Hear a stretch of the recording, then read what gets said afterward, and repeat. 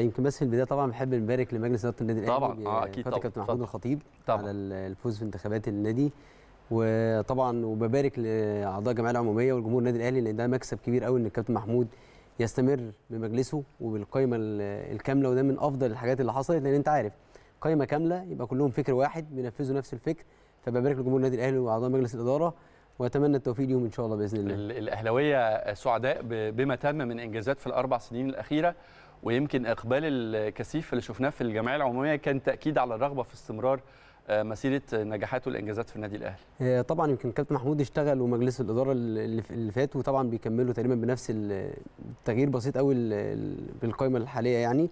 لكن طبعا عملوا إنجازات كبيرة جدا آه، سواء على الكرة سواء على ال- ال- النادي في النواحي الأنشطة الاجتماعية أو الثقافية أو أو الإنشاءات.